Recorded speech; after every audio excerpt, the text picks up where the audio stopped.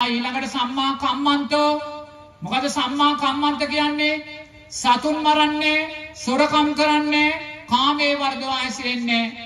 පිංහතුනී ඇයි අපි සතුන් මරන්න ඇත්තේ දැන් අපි කර්මය කර්මඵල විශ්වාසය හඳුනනවා. ඔබ මේ ජීවිතේ කුකුල්ලු මැරුවොත් අනිවාර්යෙන්ම ඔබ කුකුලෙක් වෙලා ඉපදෙනවා. ඇයි?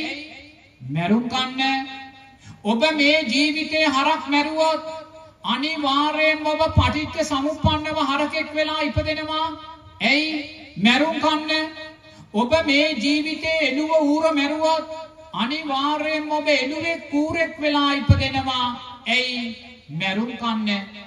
ඔබ මේ ජීවිතේ මාළු මැරුවොත් අනිවාර්යෙන් ඔබ ඊළඟ ජීවිතේ මාළුවෙක් වෙලා ඉපදෙනවා. ඇයි? මැරුම් කන්න. ඒ විතරක් නෙමේ. ඔබ නිරේතුරුවම උවමනාවෙන් මදුරුව මරණ කෙනෙක් නම් පිංහතුනී මරණාසන්න මොහොතේ මේ මදුරු මැරීමේ චේතනාවක් මතුවුණොත් අනිවාර්යෙන් ඔබ මදුරුවෙක් වෙලා ඉපදෙනවා. කැරපොත්ත කූමි මරණවානන් දැන දැන උවමනාවෙන් මරණාසන්න මොහොතේ මෙවැනි සිතුවිල්ලක් ඇතිවුණොත් කැරපොත්තෙක් වෙලා හූනෙක් වෙලා ඉපදෙන්න පුළුවන්.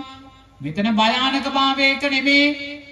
බුදුරජාණන් වහන්සේ දේශනා කරනවා මේ සෑම තිරිසන් සතෙක්ම එකම කුලේ ආත්ම භාව පන්සීයක් උපදිනවා කියලා මෙන්න භයානක භාවය හොඳින් තේරුම් ගන්න. එකම කුලේ ආත්ම භාව පන්සීයක්. ඇයි තිරිසන් සතෙක් මැරෙන වෙලාවට එයාට ධර්මයක් සිහිපත් කරගන්න එයා දන්නේ නෑ. එයාට උපාදානය වෙන්නේ රැළමයි බල්ලෙක් මැරෙද්දී බලු රැළමයි උපාදානය වෙන්නේ බලුකුලේ ඉපදෙනවා. හරකෙක් මැරෙද්දි හරක් රැළමයි උපාදානය වෙන්නේ හරක් කුලේ ඉපදෙනවා.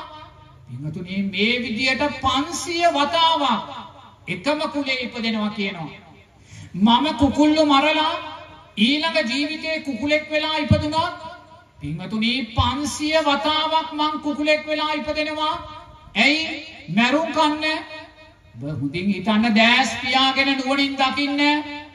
එකම කුලේ පන්සිය වතාවක් ඉපදෙද්දී කර ගන්නා වූ අකුසල් කන්දරාව මොනසානම් විශාලද පිංහතුනේ එකම කුලේ ආත්මභාව පන්සීයක් මේ අකුසල් කන්ද කල්ප ගානක සතරාපා දුකකටයි අපි වරන් යන්න.